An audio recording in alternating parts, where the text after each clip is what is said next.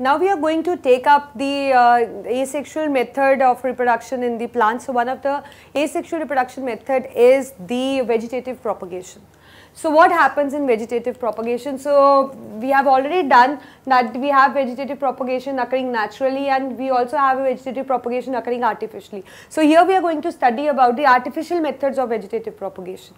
So the artificial method of vegetative propagation are cutting, grafting, layering and tissue culture.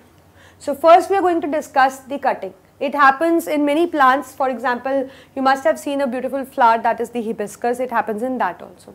So what do you do in cutting actually? What we do is suppose we have a flower or we have a plant we are going to cut its stem. We are going to cut its stem and we are going to bury that stem in the soil. So what happened that stem actually uh, you can say that a small part of stem is under favorable condition is capable of developing the uh, roots also and uh, it is capable of developing the above plant also. So uh, that means uh, in a few span of time under favorable condition it gave rise to a fully grown plant. So this is what is cutting. You must have seen cutting in your daily uh, routine also because you all plant trees, uh, the, sorry, plant uh, plants at your place. So you know that some sometimes what a uh, what a you can say the uh, what we can do is like if we want uh, we have a few pots vacant, so we can actually plant certain plants by the means of cutting. We just cut their stem and we just put them in the pot and we just water them and add nutrients and all whatever whatever is required and in the presence of sunlight also it uh, like all the factors just favor its growth. It develops roots and the above plant so that means it gives rise to a, a fully grown plant. So this is what is the cutting. Second is the grafting See, grafting is generally observed uh, in the plants of the same species. It can happen only in the in the case when the species are same. So what we do is, suppose we have one plant, what we do is, what we do, we have, suppose this is one plant. So what we'll do is, we'll just cut this uh, stem of one plant in this kind of section, this one. And this one is, uh, is in the soil. Let's say this is soil. This is called as stalked. So uh, stalked. So you can see that this section, how it is cut, oblique cut, it is called as uh, cleft shaped. So this is called as stalk. So uh, we cut the stem of the another plant in the, which has a cut in the different direction. So we just bring and that is called as scion. So what we do is we try to fix this scion on the stalk this way and it is all covered with the help of soil and compost this area. It is being covered with the soil and the compost. So what happened with span of time, what, what does it do is actually they both unite to form a single plant. They both unite to form a single plant and they start functioning as a main, uh, as a one plant. So this is what is called as grafting. So what we do actually, we just uh, take a plant of the same species. Keep in mind same species is required. Uh, from one of the, one of them is just uh, in the soil and we cut them in a, in a oblique section like this. That is that is called which is fixed is called as stalk.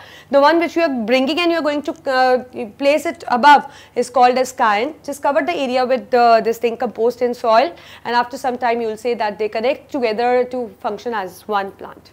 So this is what is grafting and it is mainly seen in the fruit bearing trees. The one which has a woody stems, it is best suited for these ones. The third we have is the layering. For example, it happens in jasmine. So what happened in layering, suppose we have a plant like this, we are going to take its lateral branch. We are going to take one of its lateral branch and we are going to bury that lateral branch in the soil. As you can see that how we have buried, uh, you can see that uh, some part above the soil, um, much of the part below the soil and the upper part again left free. And we just cover it with the soil and we start pouring water everything what a plant actually needs.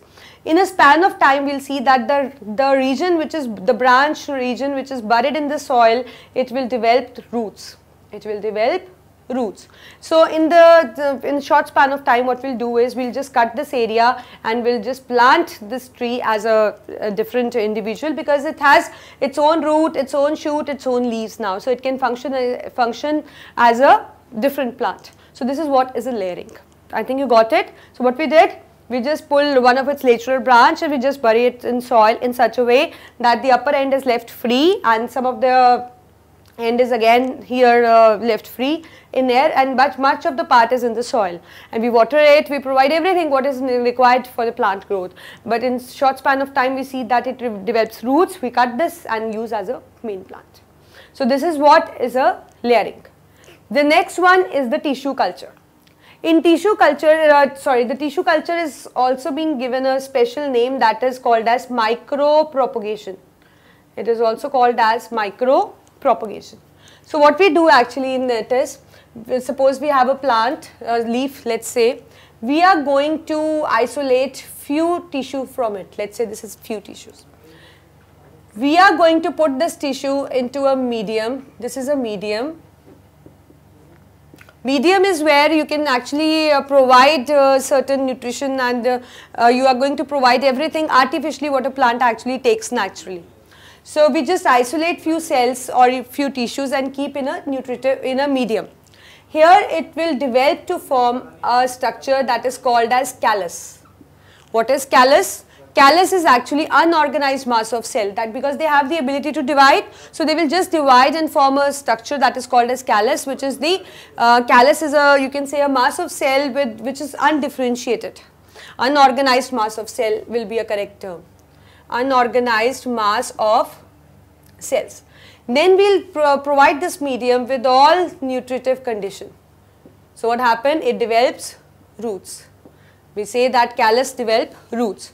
Now to this medium what we do is we provide all the physical conditions which are required for the plant growth.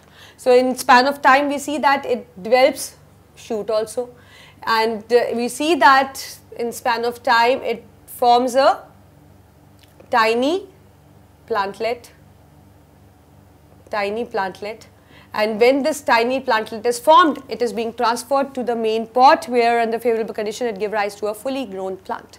So this is what is a tissue culture. So you can define tissue culture actually in this way that it is a method in which a fully grown plant is developed from some isolated tissue from the plant.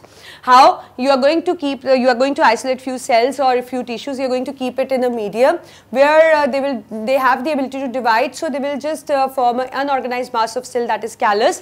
Then you will provide that media with all nutritive conditions, then it will develop roots and then you will provide with all physical conditions, it will develop shoot also and in a span of time it transforms into a small plantlet and then we transfer into a main pot where under naturally under favorable condition it gives rise to a fully grown plant. So this these are all the artificial method of the vegetative propagation. So as you know that uh, vegetative propagation is again uh, being uh, used uh, much uh, like almost everywhere. So what are the advantages that make it uh, make this as an important method? We see that uh, actually we see that it require it can actually produce many plants. It can actually produce many plants. And moreover short span of time is required and moreover it, it is uh, cap capable of producing the new varieties. Here what we do is we uh, took the stem of the one other plant and stem of the another plant we just fixed. So it is going to possess now both the characteristics of the both the plants. So we can actually produce new varieties, less attention is required. It can actually produce plants which do not produce seeds because the one which produce seeds we know that they uh, this thing they reproduce by sexual method. The one which cannot produce seeds can be done by this method and moreover it it is not a time consuming process. So this is all about uh, the uh, this thing the artificial method of vegetative propagation and one of the important uh, question uh, in this chapter because you may get a question on tissue culture, layering or grafting and they are very important. So this is what is an artificial method of vegetative propagation.